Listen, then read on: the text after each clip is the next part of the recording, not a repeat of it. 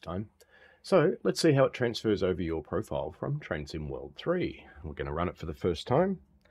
It's actually the second time, but I messed it up because it wasn't recording. Just checking now it is. Yes, it is. Okay. Let's uh, select the game. Wait while it loads up.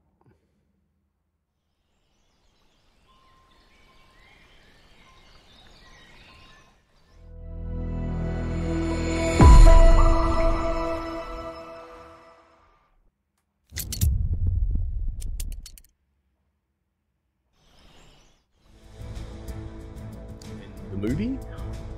Vectron. 124 Vectron. Divet 125 Scotsman. Vectron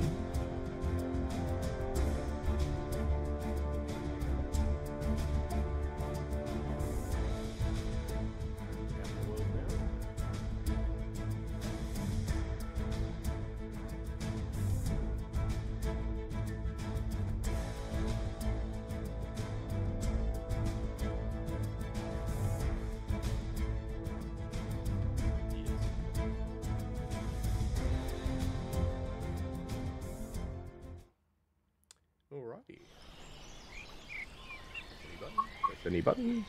We will uh, skip this for now because I don't want you to watch me entering my password. And we're going to import an existing profile and continue our progression from TSW3. You could create a new one if you want to, but no. And it sees my old TSW2 and TSW3. They're actually the same one, so that's fine. Let's bring that in. Yes. Continue. And it reckons I'm standard. Hmm. That's because it doesn't know about my PC experience, and I don't actually play on the Xbox very much, so let's just go for experience. And there you have it. Our profile is installed. I can see it up there in my top right hand corner, and you can see that I don't have lots of levels on the uh, Xbox because I don't use it as much as I probably should. Let's have a look at what's in the trains, shall we?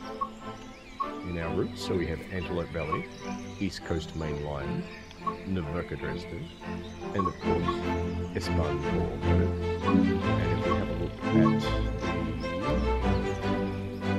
the, the train table, so it's picked up the trains from the DLCs that I have. It does have PV ones, it's got the 801, it's got the Manchester, Just has to be said that way, sorry. And we have the Metrolink F125 and the cab car, so that looks like all the new stuff. Uh, there it is, the 4024, 4024, so yep, looks good. And that's it. It's as simple as that, transferring over your profile. So, pretty easy stuff. Thanks for watching. And if you've got any questions or comments, chuck them down below, and I'll see you. Alright, fun.